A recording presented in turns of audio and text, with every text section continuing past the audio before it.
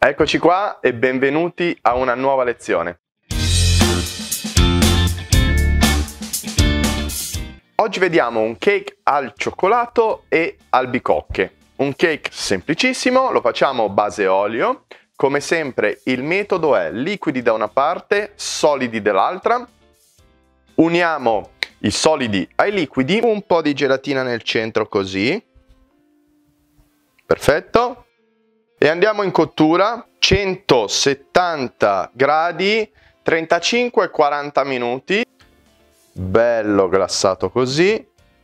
Controlliamo che non fa imperfezioni. Bene, quindi la lezione per il nostro cake con le albicocche, con una glassa al cioccolato, le nostre albicocche da, da decorazione, un piccolo decorino di cioccolato è terminata. Quindi ci vediamo per la foto finale e ci vediamo alla prossima lezione. Ciao!